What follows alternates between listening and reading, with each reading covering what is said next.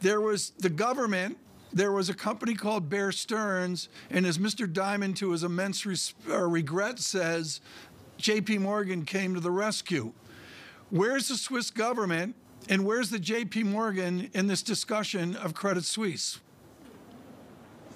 Well, you have to think that the competitors are looking at the share price and, and asking the question of, of when does this make sense a, as an acquisition target. But you know, if you're Credit Suisse, you made the point you don't want to um, sell shares at, at, this kind of level. Uh, so I think you have seen some ideas floated out there of uh, could we bring in some capital in a different way, in a more creative way, to allow for what will likely be a fairly dramatic restructuring uh, of the investment bank and uh, how do we fund that? And so this seems to be one possibility uh, is this idea of a spinoff.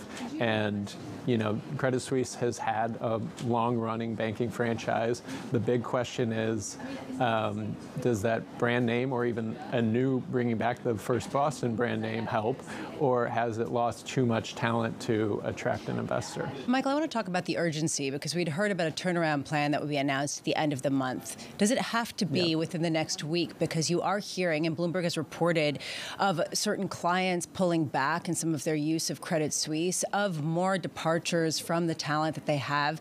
How much is this being expedited by the reaction in markets? So I think you know there, there has been that chatter out there. I think the company would like to stick to the you know date it put out there of third quarter earnings, October 27th, coming out with a robust plan. Uh, I think they don't want to rush something, uh, but there is that you know, market speculation out there. You've seen the shares up right. and down quite a bit this week, uh, but you know, they the company keeps pointing to the fact that they have over 200 billion in liquid assets. So there is not the same fear that we've seen in past cycles about liquidity. Okay, Michael, you've got encyclopedic knowledge of this. Is this discussion being driven by the board? Is it being driven by the chief executive officer, the chairman? By who? By the Swiss government? Who's Who's driving the car right now for Credit Suisse?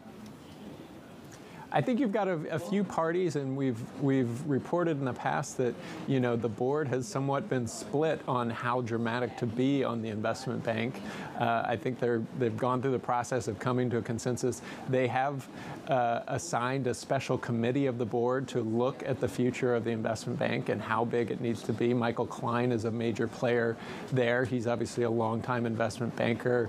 Blythe Masters, another name that uh, is involved there. Christian Meissner on the executive side. Uh, so you have a, a, number of experienced voices in the room, uh, but I think you know you're also seeing that there are a lot of um, you know opinions here, and uh, I think the Swiss government probably has its own view.